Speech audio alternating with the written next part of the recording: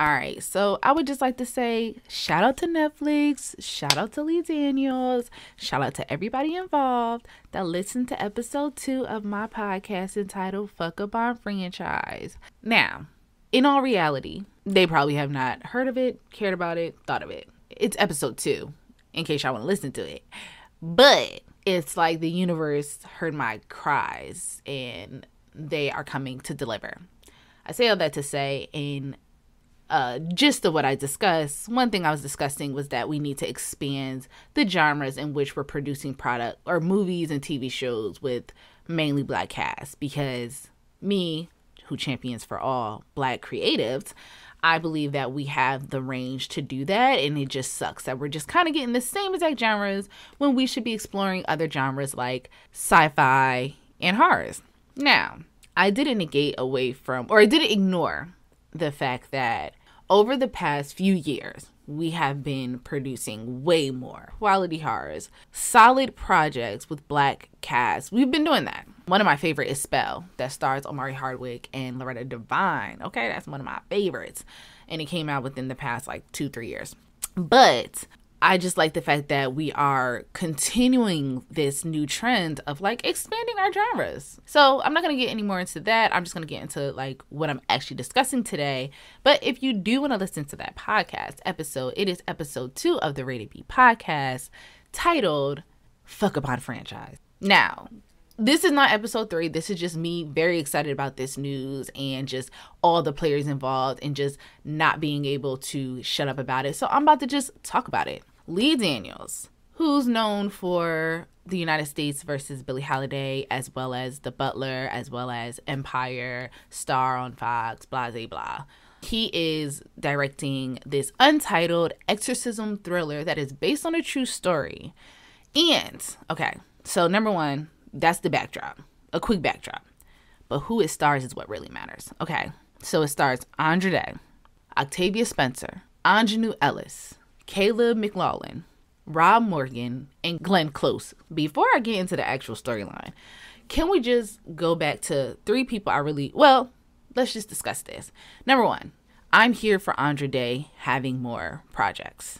She killed her role as Billie Holiday in the United States versus Billie Holiday. That movie was trash. Did not enjoy it. It was a struggle to get through it. And it sucked because Andra Day did an award worthy performance of Billie Holiday. She did.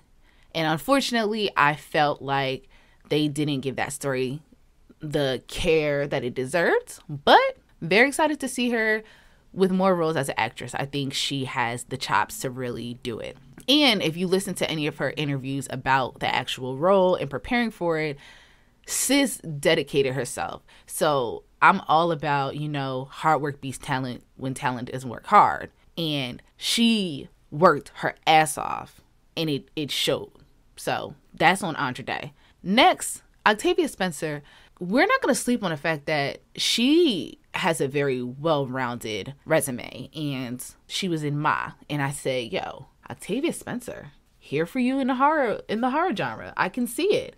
I can see her doing more the psychological thrillers. Like I'm I'm here for that because she's played a lot of various roles, but seeing her in a role that is just not kind of what you expect, like a, a horror, a thriller type of thing.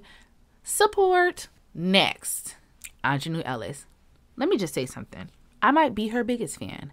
And it's not that I just I'm a fan of her work. I'm I'm a champion for her being truly recognized for her talent. Case in point, Aunjanue Ellis has starred in tons of projects since the mid 90s.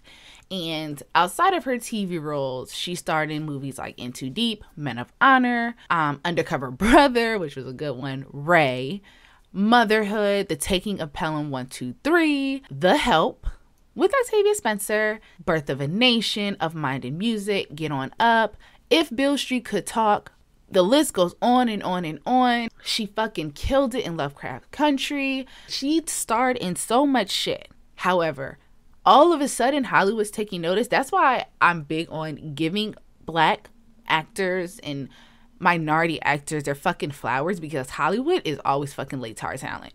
So Variety wrote up that I quote King Richard breakout Aunjanue Ellis.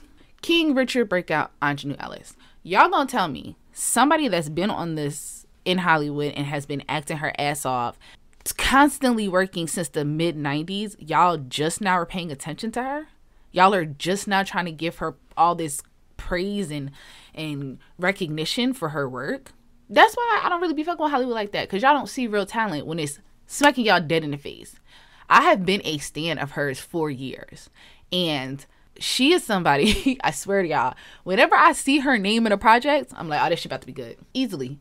Whenever I see her name, I know this about to be good. You can never go wrong with Aunjanue. She has never disappointed me in a role. Ever. Anywho, that's just that's just my little rant on the fact that Hollywood get y'all shit together. It's like I appreciate that y'all are seeing her, but y'all needed to fix y'all vision years ago. Anywho, moving on. So somebody that I do think Hollywood needs to pay more attention to and give him credit where it's due is Rob Morgan. I will say I don't stand him enough. He is another actor. When I see his name in projects, I know that shit's gonna be good. It's like Hollywood is full of actors and actresses, but there are just some actors and actresses that you know if their name is attached, I'm in for a treat. I'm waiting to see them.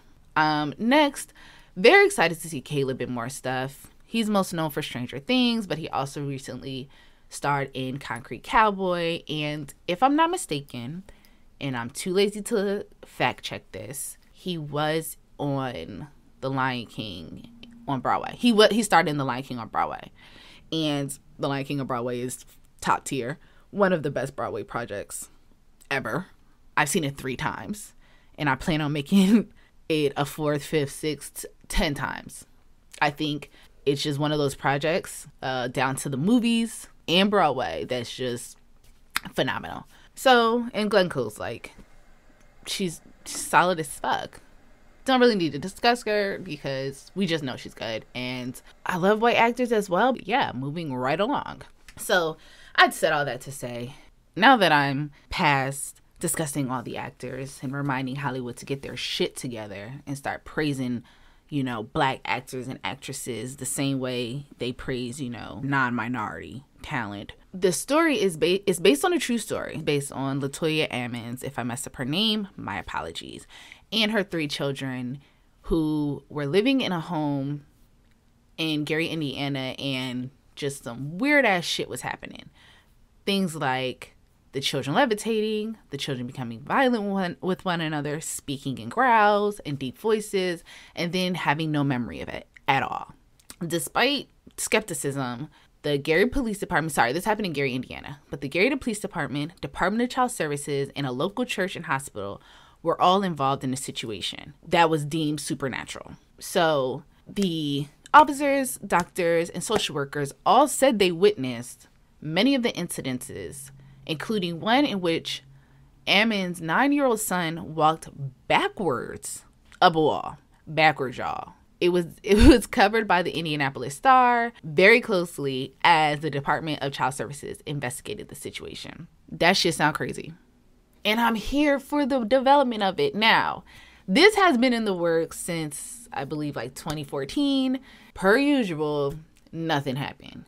However, I will say that Daniels has been a part of being made into a movie since this story was first breaking out. So he's been on board with this for years and he's also writing it as well as directing it.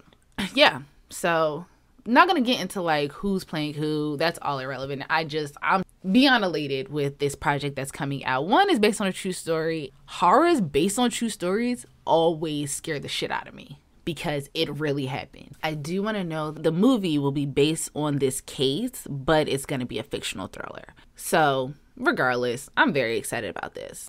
So, that's all I had to say about this random rant with Rated B podcast. So, let me know your thoughts. Are you here for it? Are you not here for it? Are you do you want me to shut the fuck up? If you do, please don't say that like that's me, but yeah. I'll see you on the flip side.